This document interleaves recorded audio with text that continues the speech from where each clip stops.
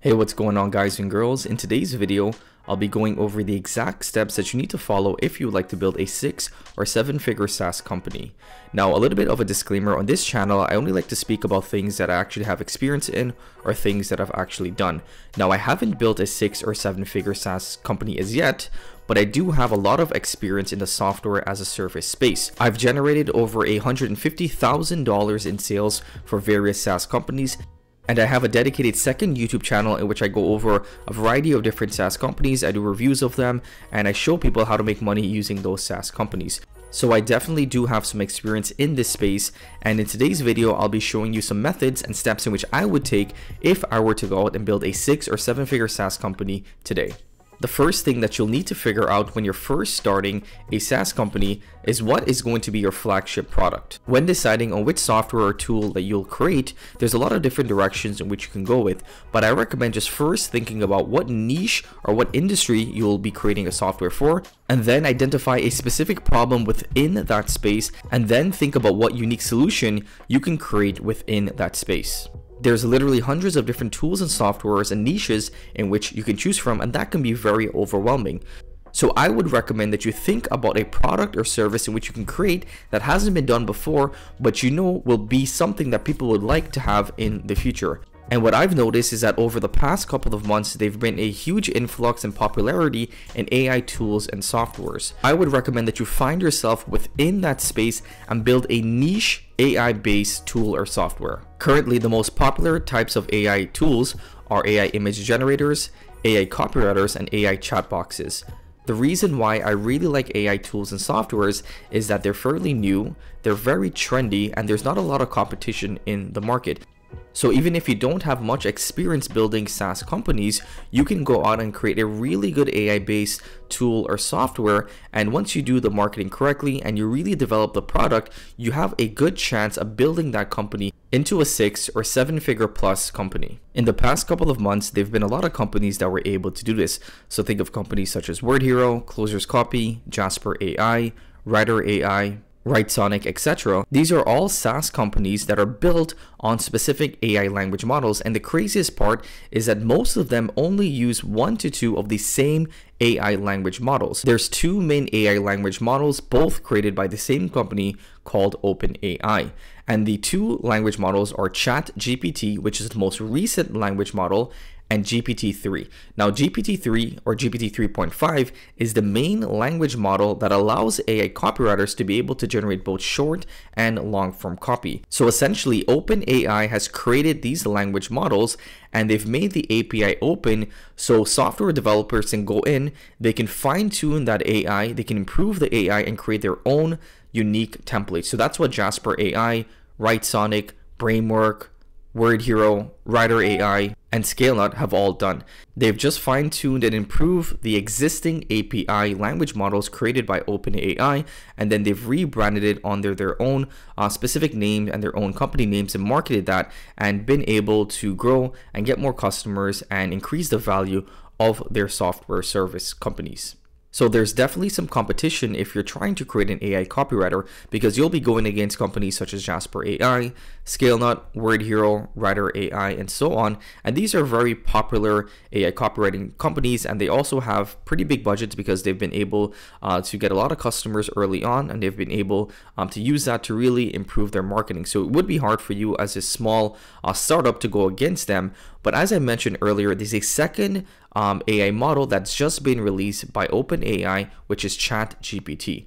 Now, ChatGPT is a little bit different from GPT-3 because it allows you to have more of a conversation with the AI. You can use ChatGPT to have a conversation with the AI, go back and forth, and the AI will remember every single thing that you talked about within that conversation and it'll be able to not just only generate short or long form content, it'll also be able to do things such as write code, fix existing code, you can ask it to write jokes, you can ask it to write songs, you can also ask it to write short or a long form content such as sales copy, YouTube scripts, you can also ask it to write long form blog posts. So essentially it has all of the features included in ChatGPT but it also has some really unique features included.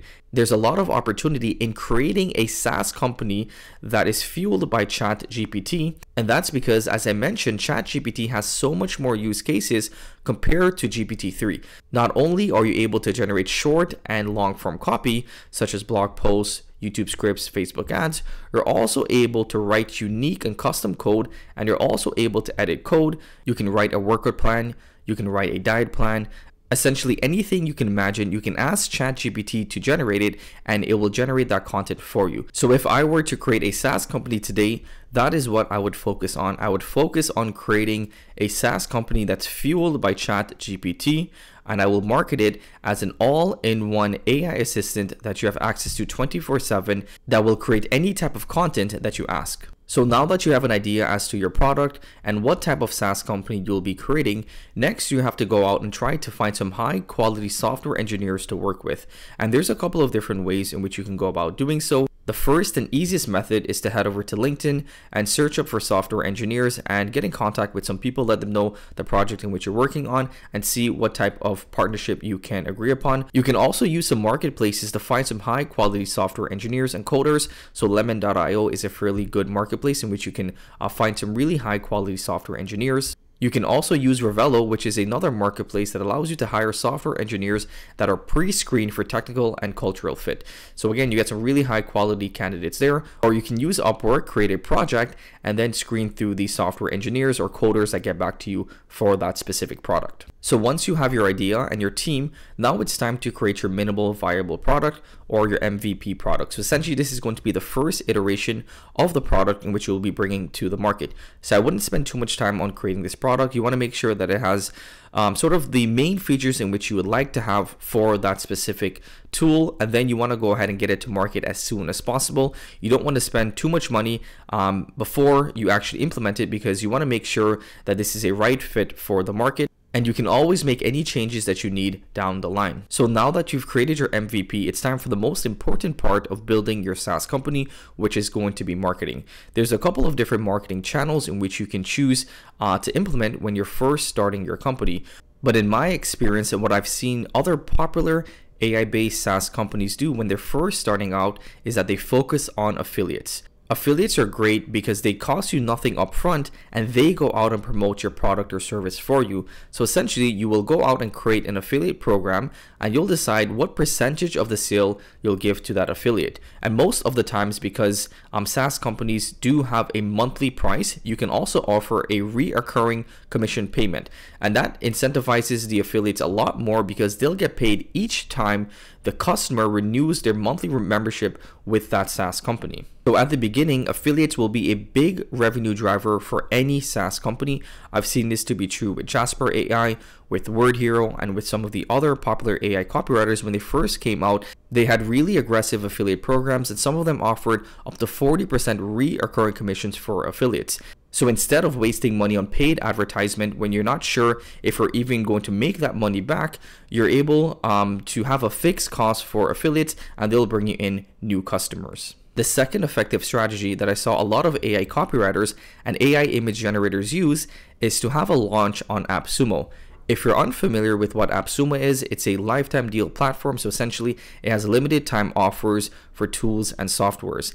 And it has a lot of customers that are already in the shopping mood looking to buy new tools and softwares. So if you're a startup or you really don't have that much of a following, you can head over to AppSumo. You can run a marketing campaign with them. You can do a launch and because they have millions of people always shopping around for tools and software, you can be on their email list. Um, they can also promote you on their homepage, and you can get an influx of uh, new customers that will get access to your product or service. You can get some feedback from them and iterate and then uh, improve your tool or software. And after you've done a couple of launches on AppSumo, you can then move over from AppSumo over to your own website because you don't really want to rely on AppSumo because people are usually always looking for a deal or a discount. But nevertheless, it's still a really, really great marketing strategy to start when you're first launching your SaaS company. So that's exactly what I would do to start and grow a six or seven figure SaaS company today. Let me know in the comments below if you have any questions as to any of the content in which I explained in this video today.